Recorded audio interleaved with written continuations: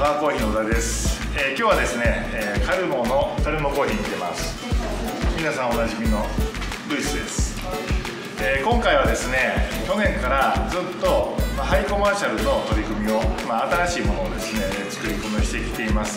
それの方向性の確認のカンペをしたりとかですねあと彼らずっと取り組んでいるスペシャルティーコーヒーの今年のクロップの、まあ、紹介をしていただいたりとかまたそこに我々が一緒にできることを一緒に考えていったりとかやっていきたいなと思っていますで主に今日はカッピングをしてその後時間があれば農園に行ったりでですね彼がまだ新しいこと何かやってるかもしれないのでそういうものを紹介してもらえたらなと思っています First, thank you so much for your visit.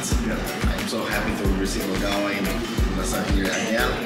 For us, Japanese market is very important really like the market. Is just to explain, it's there. It's in Japan where I started my started my top life. Okay. This year I will complete 28 times in Japan. Congratulations! Thank you so much.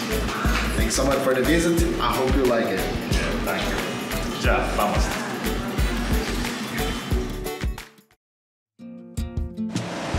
はい、イルマスペレイラ農園に到着しましたこれがアフリカンベッドのある乾燥場ですねちょっと見てみましょう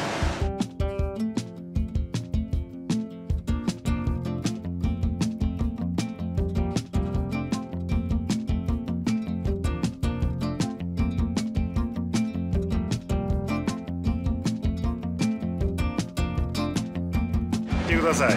すごくあの大きな粒で綺麗なチェリーだけが乾燥されています。ブラジルでは珍しいんですけれどもこの芸者のエリアはですねセレクトピッキングをしています。要するに綺麗なチェリーだけを1つずつ丁寧に積んででこのように乾燥させています。中米のようです。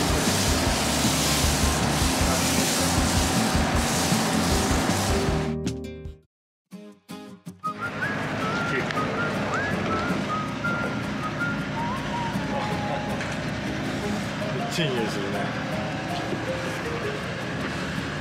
これあのコーヒーから作ったイーストのあの原液なんですけど、えー、去年もこれ匂わせていただいて今年 6, 年6年目なんですよね。めちゃめちゃいい匂いがします。甘くてフルーティーで。去年匂いた匂いと今年の匂いほとんど変わってなくていい状態でしっかりと維持できてますね。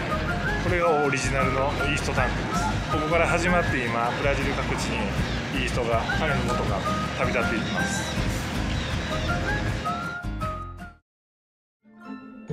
先ほど見ていただいた大きなタンクに入っていたのは芸者から作られたイーストと、えー、酵母が入ったものです。これはですね、えー、新しく1年半前にですねマカマラを使ったのとルメスーダンを使ったものでそれぞれ作っています。さっきの芸者で作ったイーストとこれそれぞれと匂いが全然違うかってですね。すごく芸者はすごく甘くて甘酸っぱい匂いがしていますパカマラも、まあ、甘酸っぱいんですけどもう少し柔らかい感じでふわっと梅スーダンはです。ねどちらかというとあのお酢っぽい強い匂いがしててすごく発酵臭が強かったです。これが原液となってまたこちらにあるタンクでですね増やしていきます。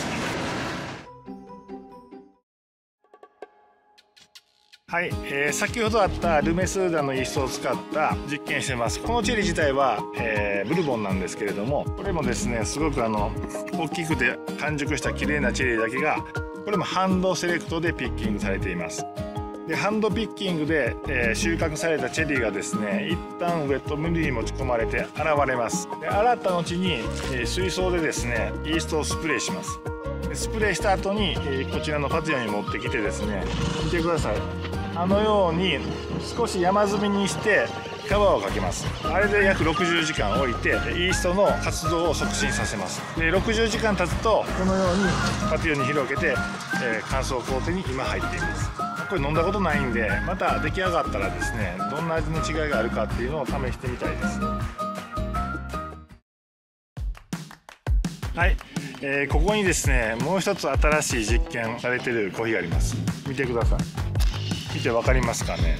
パッと見た感じ色がだいぶ違いますよね。こちらはナチュラル。こっちはパルプドンナチュラル。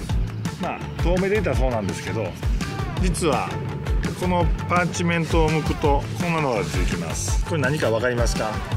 黒豆であったりとか発酵豆であったりとかベルジであったりとか。要するに我々がカッピングする時によく言うディフェクトの豆ばっかりです。これ実はですねこれわざとこういうものを作っています。パルプドナチュラルを作る時にパルパーで硬いチェリーはパルピングされません。それが弾かれます。弾かれたものは一般的には飲めないぐらい美味しくないんです。要するにこういうものばっかりなんです。で今回ですねそのグリーンのチェリーを集めてイーストをかけて柔らかくしてでもう一回パルピングをした。のがこれです。こうすることで味の改善ができないのかなっていう発想でですね今テストをしています。で100%ディフェクトです。これどんななるんでしょうね。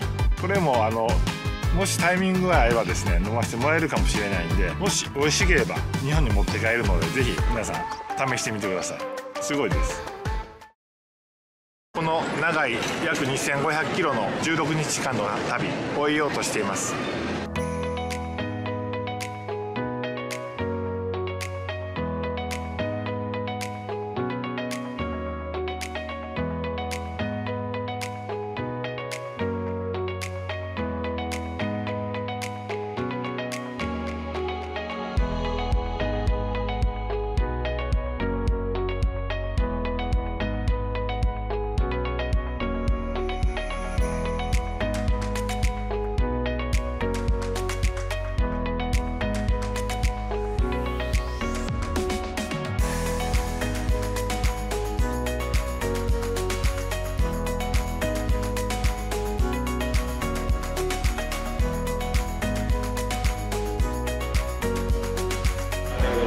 でした。